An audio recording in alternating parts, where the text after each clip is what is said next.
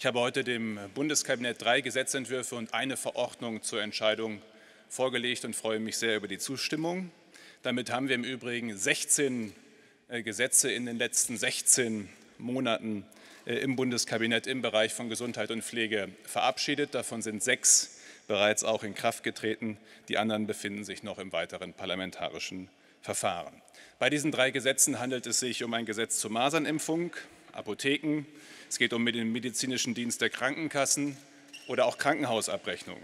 Das sind ganz unterschiedliche Themen, die vielleicht im ersten Moment nicht alle was miteinander zu tun haben. Das haben sie aber, wenn man genau hinschaut, weil es im Kern darum geht, ganz konkret für die Bürgerinnen und Bürger, für die, die im Gesundheitswesen tätig sind, im Alltag einen Unterschied zu machen und vor allem sicherzustellen, dass wir eine gute, eine qualitativ wertvolle, eine umfassende Gesundheitsversorgung haben und dass Staat in dieser Kernaufgabe von Gesundheit und Pflege auch funktioniert.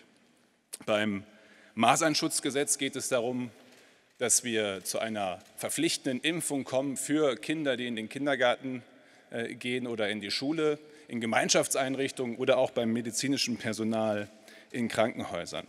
Niemand sollte bei uns in Deutschland noch an Masern erkranken müssen.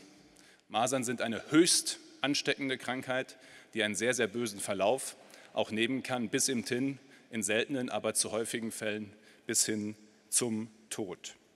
Und es gehört im Übrigen auch zu meinem Freiheitsbegriff, wenn ich dann öfter auch eine Diskussion rund um die Freiheit und die Unversehrtheit des eigenen Körpers höre. Ja, das muss man abwägen, aber ich finde, es gehört zur Freiheit eben auch mit dazu, dass ich mich in einem Raum, wo ich mit anderen bin, in einem Flugzeug, in einem Zug, darauf verlassen kann, dass mich andere nicht unnötig gefährden. Und eine Maserninfektion jedenfalls wäre eine unnötige Gefährdung, weil es eben einen sehr, sehr sicheren Impfstoff gibt. Und wir wollen insbesondere die Schwächsten in der Gesellschaft, nämlich die Kinder, vor unnötigen Infektionen schützen. Zudem, auch darauf will ich hinweisen, weil mir das sehr wichtig ist, haben wir im Gesetz vorgesehen, dass in Zukunft die Krankenkassen mit dem öffentlichen Gesundheitsdienst zusammenarbeiten und kooperieren sollen, um in den Landkreisen und Städten äh, wieder möglich zu machen, was vielleicht viele der Älteren noch aus ihrer Kindheit kennen, nämlich dass es Reihenimpfungen äh, in den äh, Schulen geben kann, als freiwilliges Angebot etwa auch gegen Tetanus, Diphtherie oder Keuchhusten, sodass Krankenkassen dort eine organisatorische und finanzielle Mitverantwortung übernehmen.